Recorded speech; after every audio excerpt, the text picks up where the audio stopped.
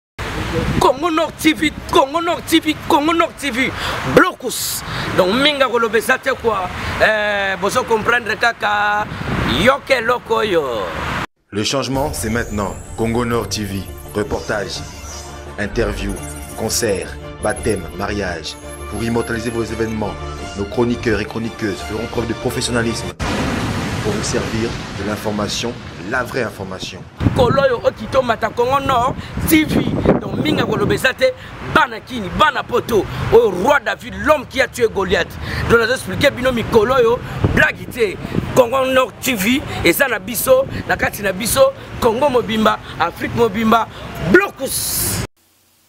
biso bajournaliste tozosenga na gouvernement congolais Tozo senga na bino bo libere eliezer tambwe mutu boko kanga voleur muyibi oyo nde mutu ayibi diamant ya 35 carat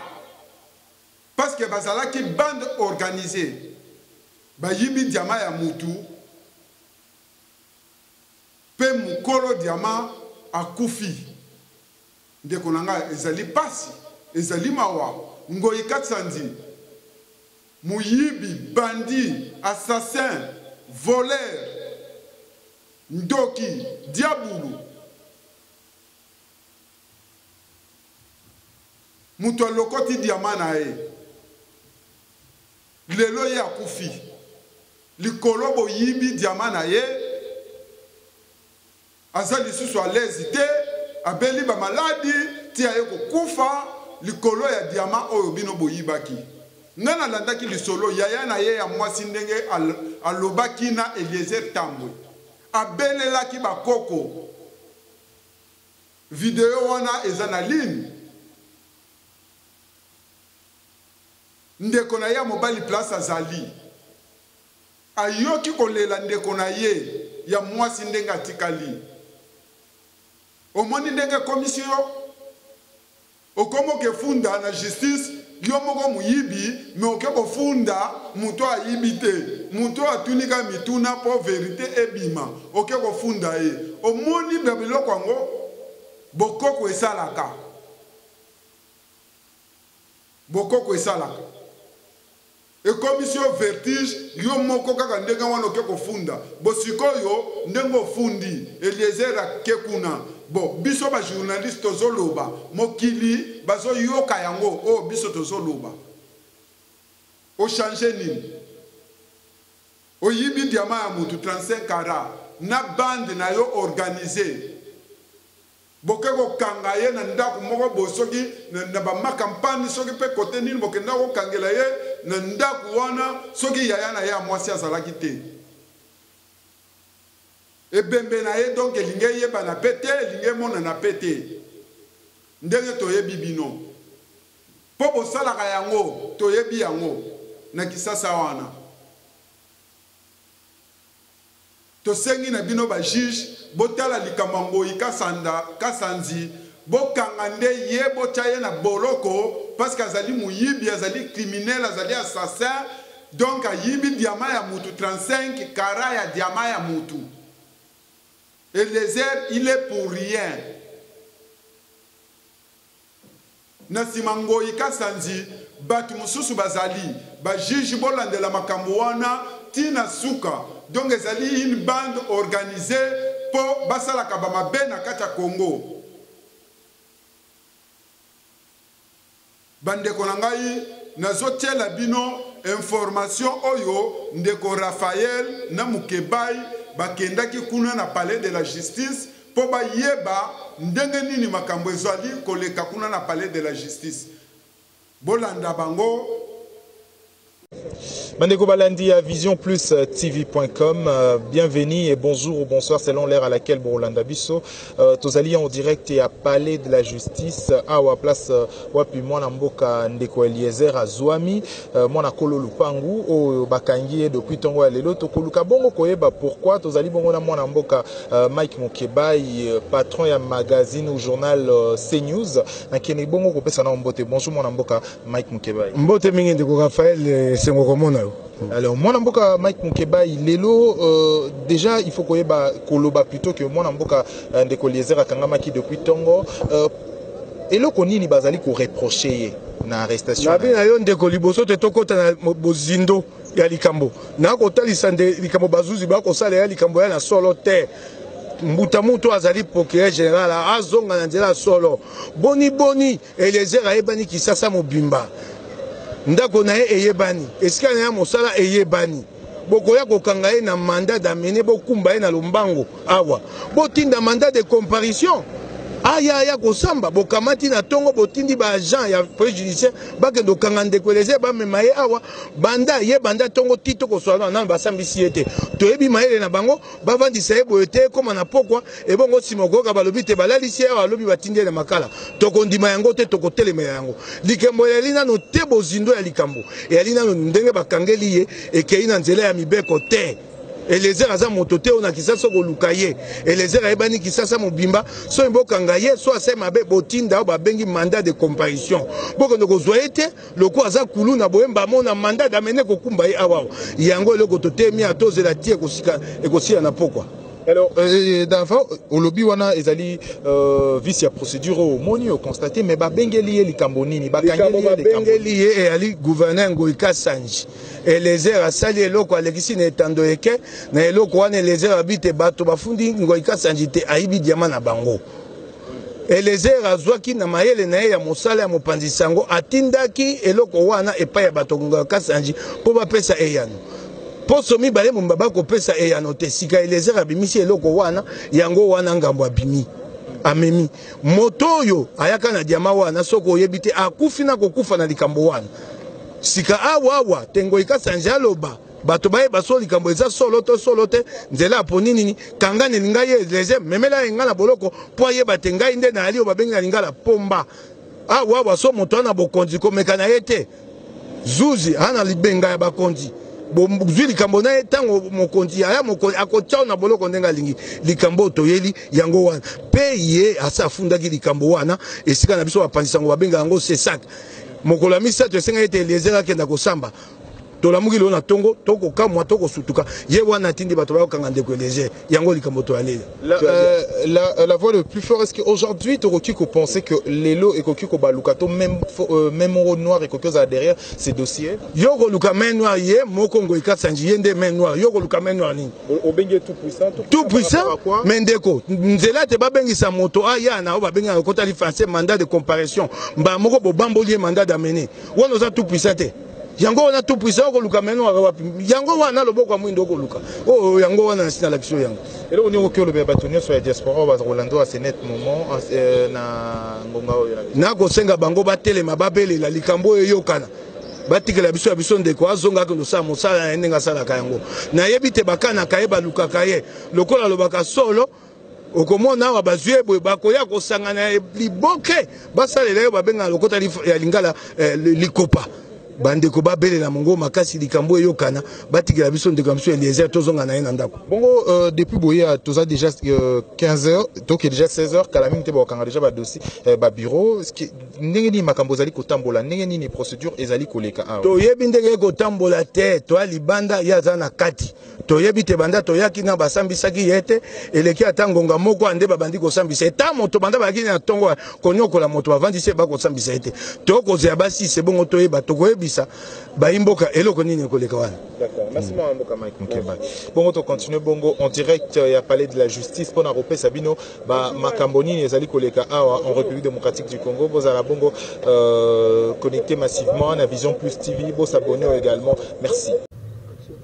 Europe, Amérique, Asie, partout au monde, euh, vous nous suivez sur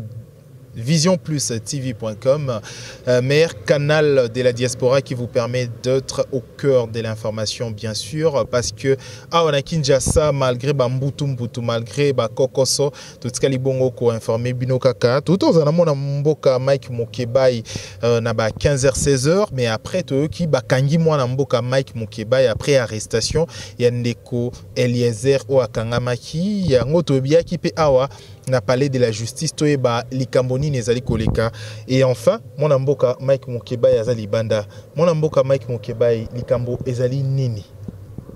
na tongo nayoki sango te bakangi oyo ya ngai ndeko Eliezer Tambwe tobengani baninga nde tozala so ekweli moko ekweli biso nyonso Biso toa na mboka moko bokonzi eza bokonzi ya nko. Makasi na biso ya kabe kozala lisanga mpe kobelela na mongongo makasi bayi mboka bayeba soki likambo ye ya mabe eye. Nde tosangani wana tokei biso nso ete tokomi kuna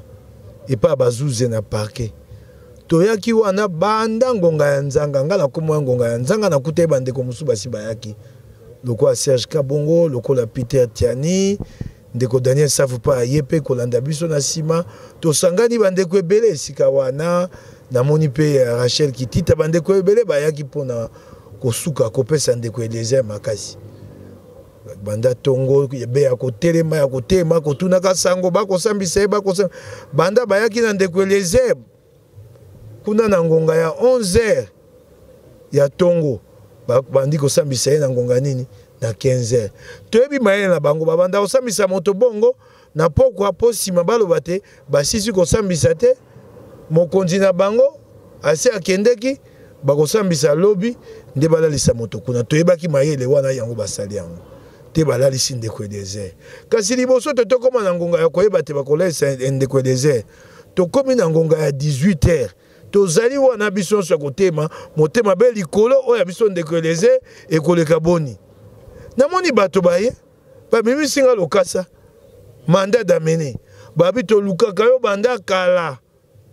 babai tokanga yo lokola tokpui yo abe tozwa yo tomimona boloko nde baninga oyo bazalaki wana baninga bapanzi sango ba serge kabongo ba, ba, ba peter tiani ba daniel safo na baninga mosusu nkombo ebele ba edmond izuba nde batomboki oyo babi boni bakangaka moto esika nini na ngonga ya 18 heures mosala esi esi bino bosi bokangi ndako na bino ndeko mosusu mpe alaki wana mosambeli avocat maître chicha nde maître chicha bi oh Kombo na ye oyo to wana chicha ya bomwana, kombo na ye penza ya mosala na ye ya mosambeli ezali Bokolombe. Nde ah, boni bokokanga moto boye na ngonga oyo? nde abengi mokonzi na bango kuna bi bakokanga moto awa na ngonga oyo mokonzi na bango na bango balakisa mokanda wana epai ya moto moko azali wana moto wana atali mokanda wana nde abi oh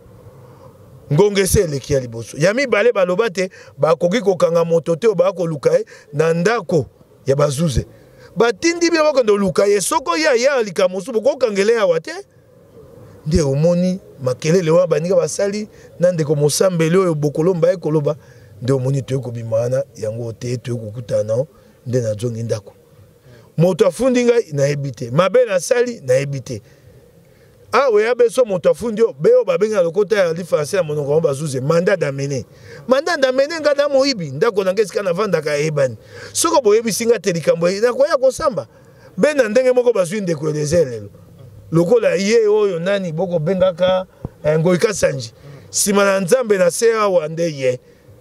te bakobengisa moto te batuna ye likambo oyo asali te mbala moko mandat d'amene kokamata ye meno te lokola lokola lokola kuluna komema ye kuna likambo oyo ndeko eliezer ndeko eliezer azwi bandeko oyo balobi te yo ozwaki diama na bango bato balobi wana so banga makambo ya lokuta yo loba solo okokangisa eliezer ebabi likambo nini mpe likambo ya diama yango moto akufi moto azwaka kolo diama na ye akufi te ngoi kasanja akokosa esengeli bulamatari abengisa nde ye batuna ye likambo wana ya diama na liwa ya moto na kati ya likambo wana ye likambo moke te ye sikoyo pote nyonso wana evanda swi eleka yango alingi kokangisa eliezer te te te eliezer abengisaki bato bandeko ya mowei oyo akufi na diama na ye oyo awutaki na yango na kasai esengeli te ye nde ngoyi kasanji nde basambisa nde ye bulamatari atuna ye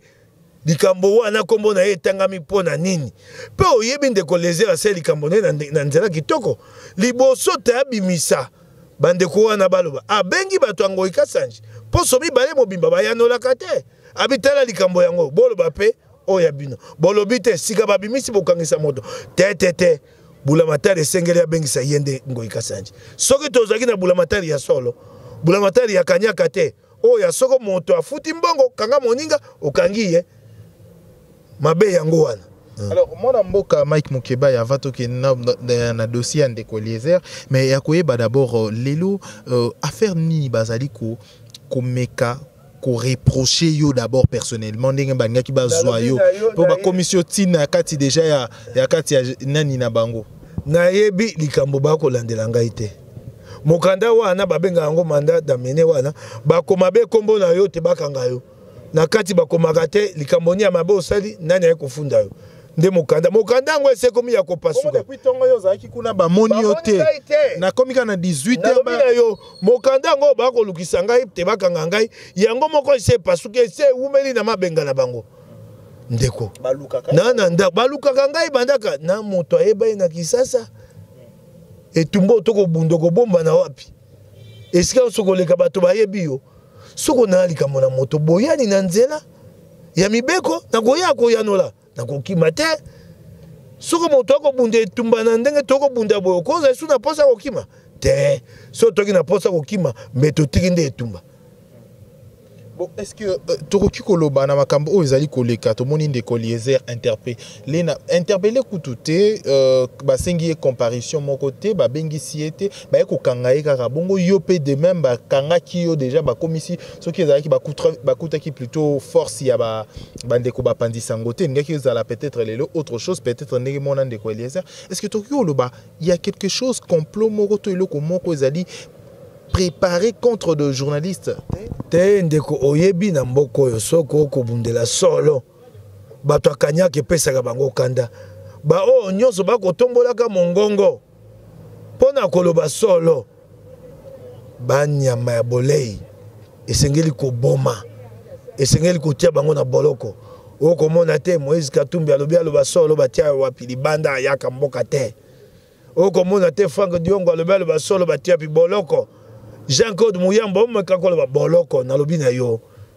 Eyali bato ya kanyaka bakomi na suka. Balingi te bato baloba solo. mpo bayi mboka bafongola miso mpo bayebi te bokonzi ya moi ekomi na suka eloko etikali moko be moko kobengana bango na bokonzi ya nzela ya maponomi bakoyoka motema mpasi ya bato oyo nani asaka bango so bazalaka te mbeto ya na kimia misolo oyo tokwi ebele ebele tokolia yango ndenge nini bato baya kofongola bayi mboka miso mpasi na bango yango wana yango baya kosala te babangisaka bato mpo bato baa na makasi ya koloba batika koloba mokili evanda nie bango bazwa bokonzi ya seko na seko bakoba na nzela ya kopomola misolo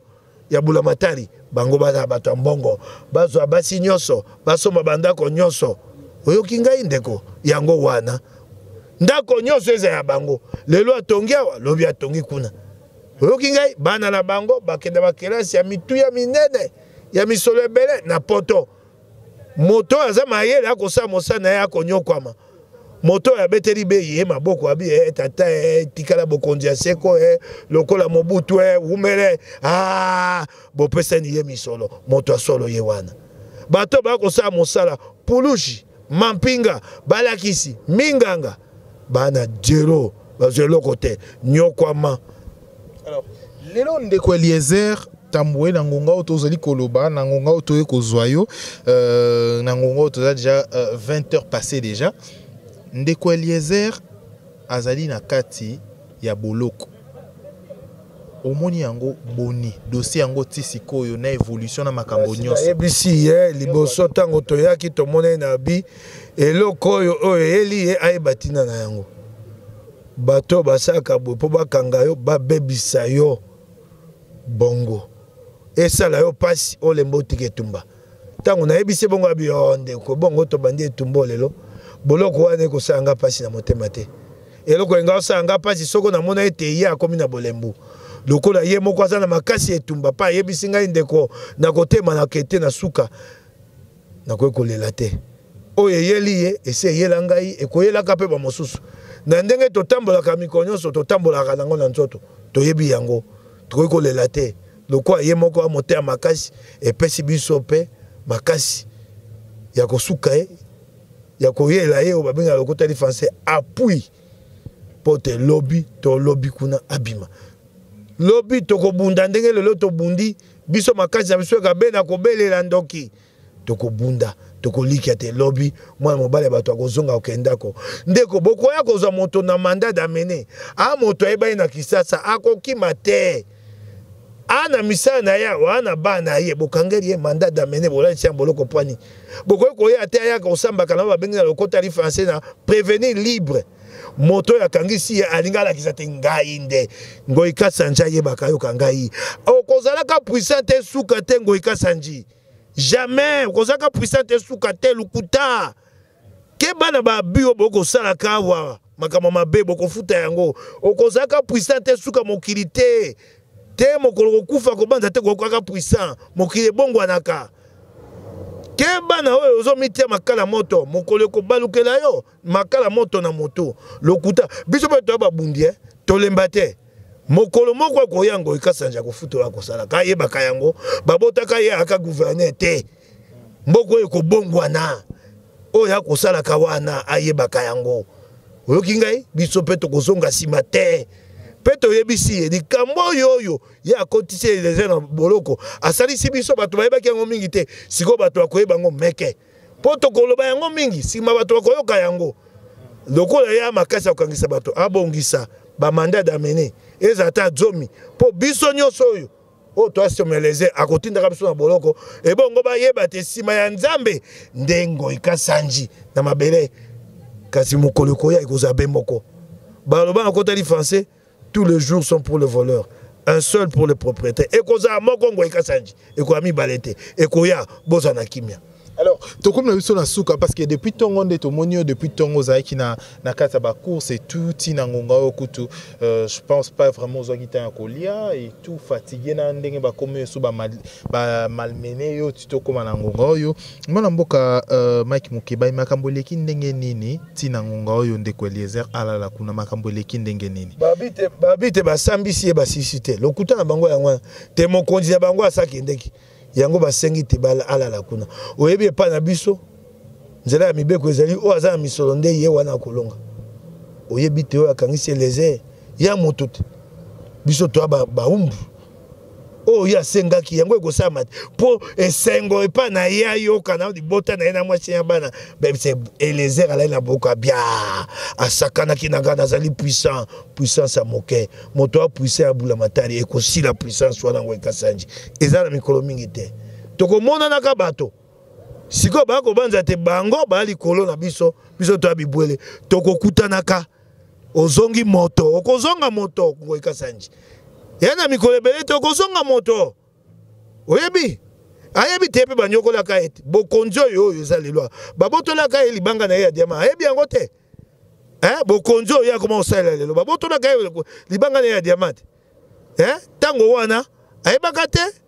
te ye mpe azali moto sika bosali yango akomi tout puissant tout puissant ekosila yango ekasani ekosila ayebaka yango tout puissant ekosila alors tokomi na biso na suka ya entretien na biso bo excuse biso peut-être mpo na endroit mpo na place tosali ya interview ezalaki bongo Euh, tout simplement pour nous permettre bino besoin information moi mboka Mike Mukeba est vraiment fatigué mais au moins accorder biso temps euh, vraiment précieux pour tout communiquer na bato nyonso bazali à diaspora pe bazali libanda ya Congo pour bazana na kati ya Congo euh, peut-être na Matadi Boma bato au bazali na Kisangani na pesi bino mbote bozali kolanda biso mingi mingi bo s'abonner massivement na Vision Plus TV ozali chaîne vraiment aux ezali première chaîne et information Made in Kinshasa, mwana mboka Mike Mukebayi, tokomi na biso na suka entretien na biso eloko nini okoki olobela bato nyonso bakolanda na senet moma te likambo be moko totema tobunda etumba mpasi oyo tokomona na nzoto mpe na molimo eya na ntina eyali mpo mboka oyo ekangwama kongo ya sika ebotama bato so babanzi te bakobangisaka biso tetetete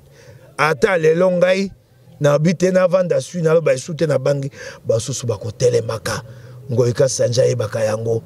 sika likambo tosengi ye lokola ye ake kotuta libaku na ndako ya banzoi akomona nde banzoi bakopalangana akoyoka likambo wana sika ekoyebana malamu bato bayeba diama wana ekomaki wana boni tata wana akufi nini vraiment explike biso na yo te tokotatola ya tokosembola yango malamu olobi hmm. lelo nasi nalembi moteke na ngai nalie to naliaka na pondu oyo ya mpasi ya koluka na mboka oyo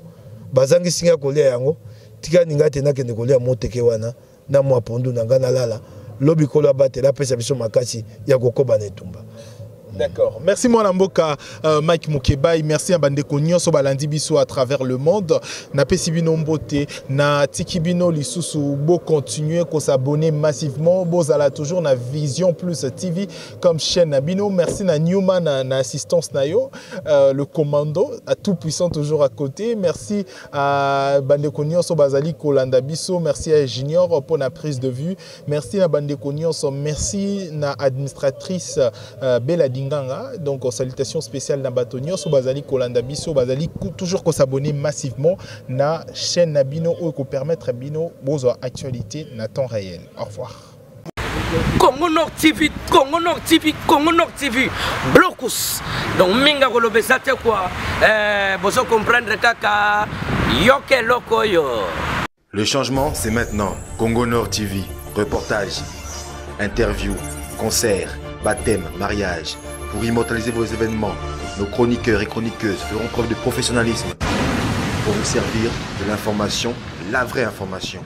kolo oyo okita omata congo nord tv donc mingi akoloba eza te bana kini bana poto oyo roi david l'homme qui a tué goliath donc nazo explike bino mikolo oyo blagi te congo nord tv eza na biso na kati na biso congo mobimba afrique mobimba blokus